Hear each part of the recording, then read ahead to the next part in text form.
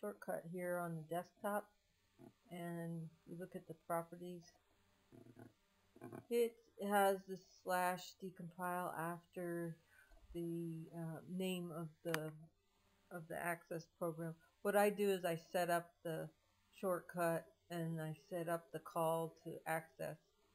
This is for office uh, 2007 so if it's 2010 you'd see office 14 right here um, if um, so I've got the database name.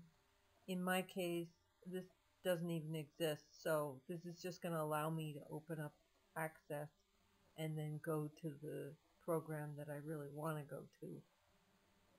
So let's do that. Um, okay I want to first open up the program and show you what before we compile it so I hold my shift key down and open so that no form opens let's go to the Visual Basic and debug and see this compile here this is not grayed out so it means that the program is not fully compiled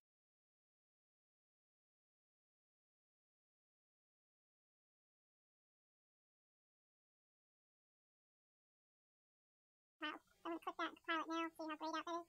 Okay, so let's close this out, and we'll close out, um, close this data out, and go to this decompile shortcut. See, in this case it's giving me error because it can't find this file, but